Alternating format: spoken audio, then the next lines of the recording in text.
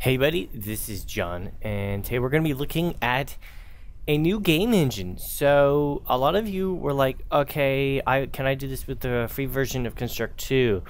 Or I have this version and I don't want to update it, or I can't. Um, I'm sorry, maybe you downloaded it illegally.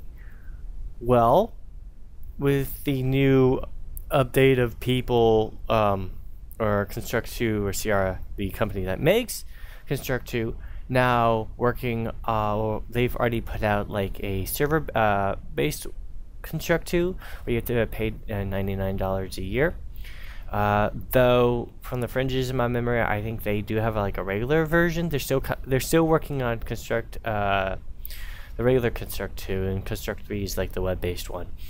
GDevelop is a open source uh, basically clone of Construct 2. So I'm going to take Construct 2 and I'm going to basically recreate and go forward with new tutorials um, trying to see, okay, can this at least play in the field of Construct 2? So as you can see, it looks oddly just like Construct 2. Um, again, we have file and it has recently opened options. Uh, you can change the language, default folders. You can change the appearance. So I'm pretty sure you can have this look just like um, Construct 2. I'm going to go back to regular met uh, develop office. Oh, there we go. Uh, we have projects, we have new, open, save, save as, images, add a scene, add external events, add uh, an external layout, extensions and platforms, projects, start page, uh, basically where we're at. C++ tools, converter, so you can convert MP3 and encode to OGG, um, or MP3 encode into WAVE which you had to do uh, which well no it, it did that in construct too um, but it would only do that in certain mp3 audio formats uh, an image converter so decompress an animated gif which i ca which yeah actually construct 2 did actually do this but that's actually kind of cool decompress an rpg maker character never played around with one of those decompress a sprite sheet that's actually kind of cool because usually I use an external sprite thing to cut it up.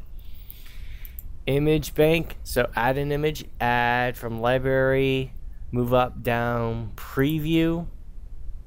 We have a scene, so that's actually kind of cool. Um, events, so we can play around with those. Objects, we can add objects, rename, copy, blah, blah, blah. And we can do some coding too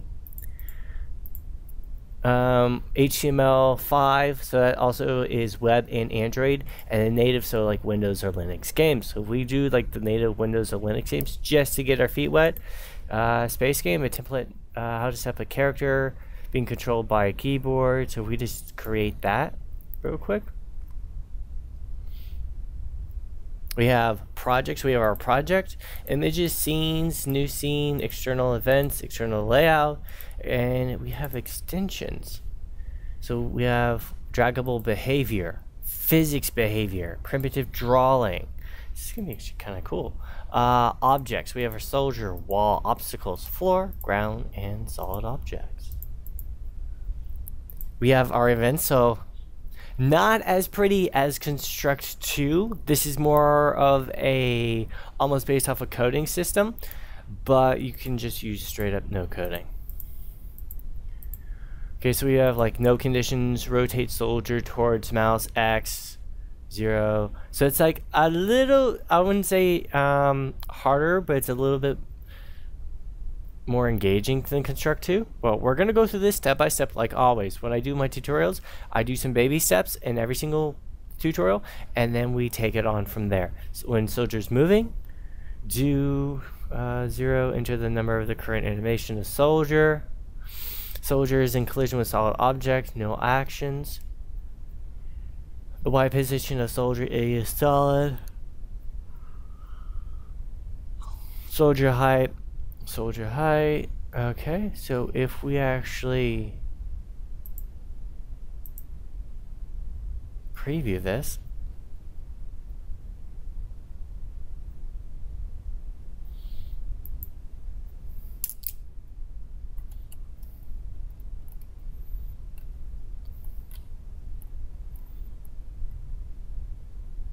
that's actually kind of cool.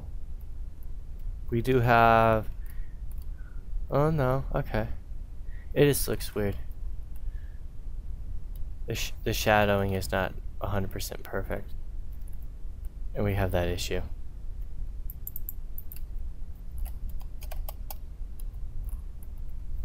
And we have this issue.